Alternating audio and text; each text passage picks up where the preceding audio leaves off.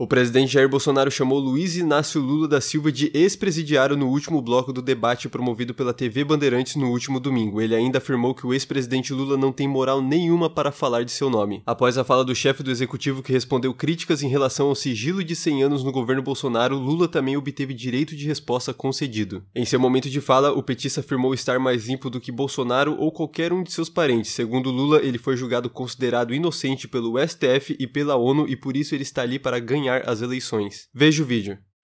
Bem, é do Lula. Ainda bem que a natureza criou esse monstro do coronavírus. Que moral tu tem para falar de mim, o ex-presidiário?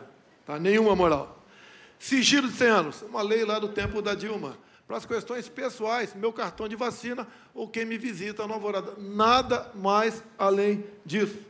Orçamento secreto. Eu vetei o parlamento derrubou o veto. É lei. O seu partido, Lula, votou para derrubar o veto no tocante ao orçamento secreto. Não tenho nada a ver com isso. E dizer a vocês também, a vacina corromper, ah, tentou corromper, está de, tá de brincadeira, nobre senadora, tentou corromper, cadê a corrupção? Cadê o contrato assinado? Cadê a nota?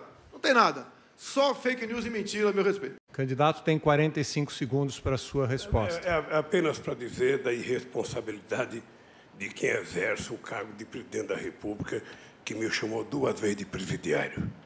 Ele sabe a razão pelas quais eu fui preso. As razões pelas quais eu fui preso foi para ele se eleger presidente da República, porque era preciso tirar o Lula do pedaço.